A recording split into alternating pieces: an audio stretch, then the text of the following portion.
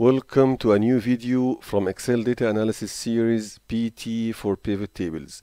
Video PT 3.2, we're still discussing grouping. In this video, we are going to see how we can group numeric values. We are going to look at two exercises. First one, how we can report products by sales brackets or sales levels. The second exercise, we'll see how we can evaluate the performance of the salesmen. During the video also, we are going to touch point on two important features in the pivot tables. First one is show value as, and the second one is conditional formatting with pivot tables. If you want to follow along while you are watching the video, you can go down below the video in the description section. You will find the link. You can use it to download the Excel sheet.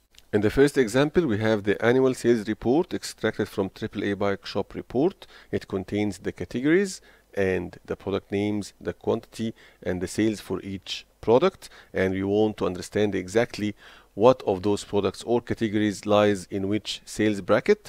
So we start by creating a pivot table. I'll use the keyboard shortcut Alt and V. It will open the create pivot table dialog box. It already understand the range I want to decide where to put my pivot table. I will select the existing worksheet and location will be H 6 and I will click on OK. The pivot table will be created. I want to give a name.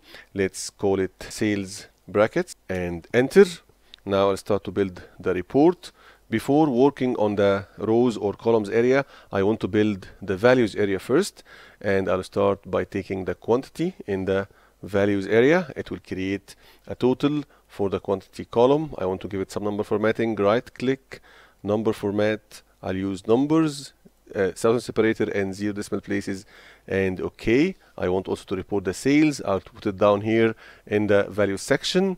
After the sales it will create another total for the sales. But now I want also to, to create or to report the percentage of the sales and of the quantity. How can I do that? I'll take the quantity once more. I'll put it between the quantity and sales. It will create another sum or another aggregation for the quantity column. I will right click and go to show value as and I will select as a percentage of column total.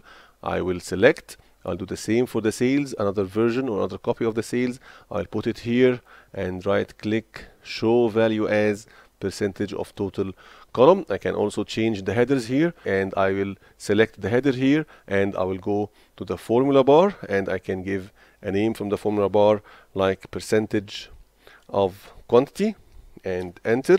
I'll go here also in the sum of sales 2 I will give it another name like percentage of sales or S for sales and enter. Now because I want to report on the sales brackets so I have to take copy of the sales field and put it in the rows section. And once I do that it will create a unique list of all the values in the sales column. But this way it will not give me any insights. So I want to group it and I can do it from two places. I can go to pivot table analyze in the group section and select group field or I can just right click and select group. Once I did that it will open a dialog box called grouping. And as you can see it is giving you suggestion automatic suggestion to start with the lowest value and end with the highest value and categorize every 100,000 but I want to customize this. I will do the zero as a starting point and I will end up with the 300,000 only and I will keep the 100 for each category and I'll click on OK.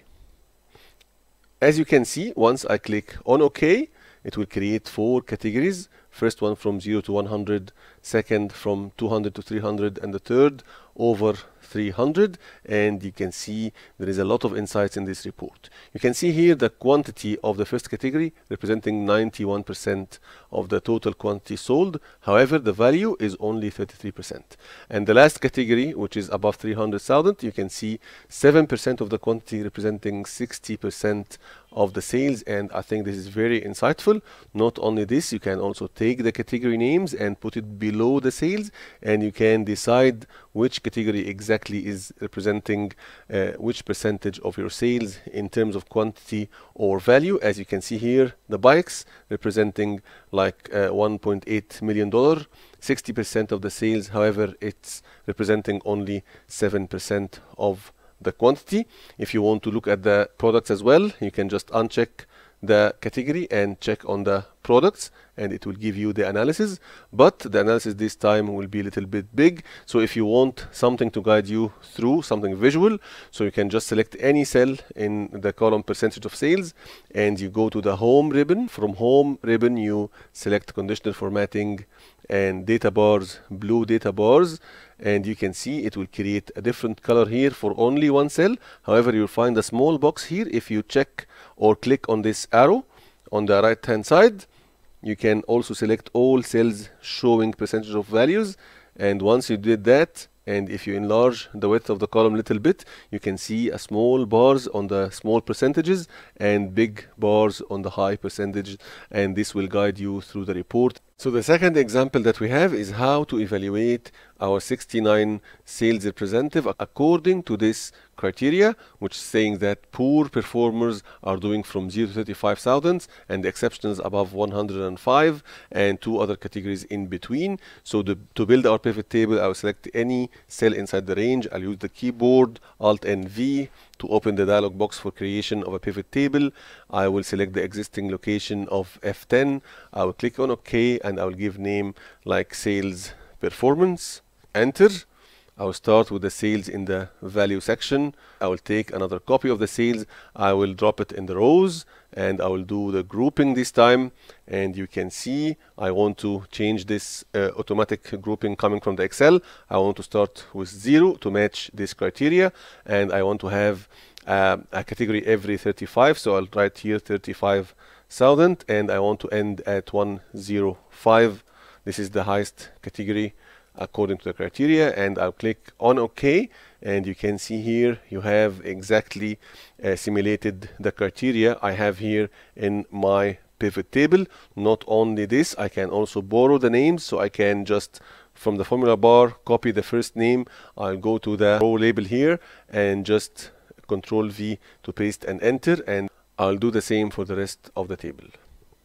As you can see now we managed to simulate exactly the four uh, categories that we have in the criteria for evaluating the sales rep.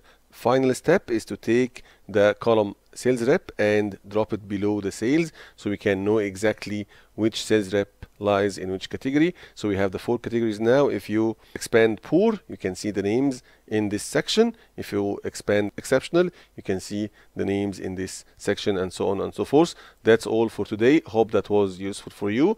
Please stay tuned for the next video, PT03.3.